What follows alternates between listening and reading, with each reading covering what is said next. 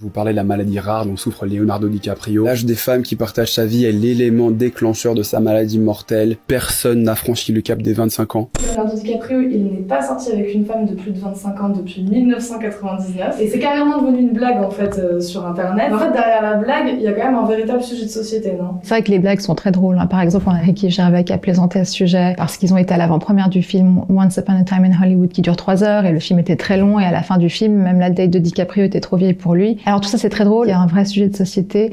C'est que ce qu'il est en train de nous dire, DiCaprio, c'est que toutes ces femmes, elles n'existent pas face à lui comme individus, elles existent euh, comme représentantes d'un modèle générique qui peut être facilement remplacé. Dans son ouvrage Et si les femmes avaient le droit de vieillir comme les hommes, Amanda Castillo questionne la différence de traitement entre les femmes et les hommes par rapport à l'âge. Avec un constat, dans notre société, l'agisme, ça touche surtout les femmes. Quand on regarde les sondages, quand on regarde, on demande aux hommes quel est l'âge idéal d'une femme. En Finlande, ils ont répondu que c'était 22 ans. Euh, il y a eu un sondage euh, effectué par Le Monde. On leur a demandé quel est le pic d'attractivité sur les sites de rencontres. Pour les hommes, c'est 50 ans. Pour les femmes, c'est 18 ans. Le fondateur de Cupid qui dit que toutes les femmes les plus likées sur les réseaux sociaux ont entre 20 et 24 ans. On est dans une société patriarcale qui associe la féminité à la jeunesse. Une belle femme, c'est une femme... Qui est jeune, euh, qui est fertile. Euh, On nous renvoie sans cesse euh, l'image problématique de notre vieillesse imminente. On le sait depuis qu'on est très jeune, hein, que le compte à rebours a commencé, que bientôt on sera plus regardé. On le sait déjà quand on a 20 ans. On peut pas se projeter. En réalité, la société, elle nous dit que voilà, passé un certain âge, on doit s'acheminer vers le coin tranquille de la non-existence et que on n'a plus de place à part voilà être mère, grand-mère tranquillement. on s'efface.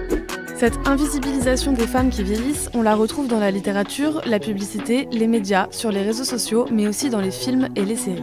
Dans la série House of the Dragon, l'actrice Olivia Cook, 29 ans, incarne la mère de Tom Glencarnier, qui a 27 ans.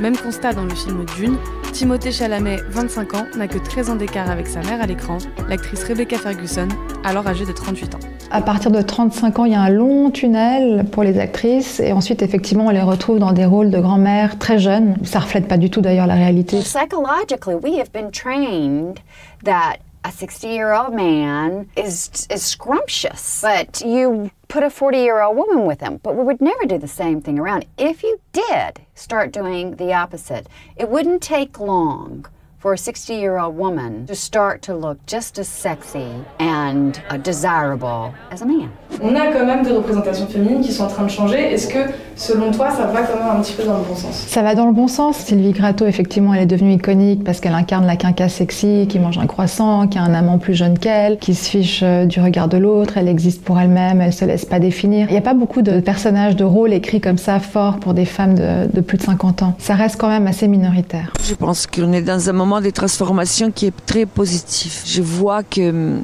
on peut continuer des carrières qui sont très très longues et qu'on n'est plus lié justement à cette euh, beauté biologique qui était les dictats de l'époque.